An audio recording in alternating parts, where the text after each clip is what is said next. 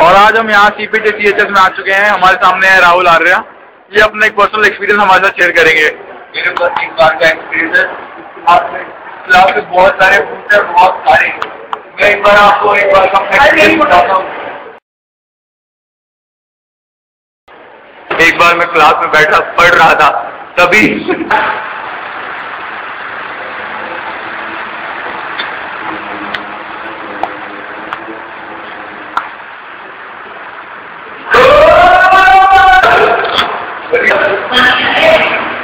Here we go.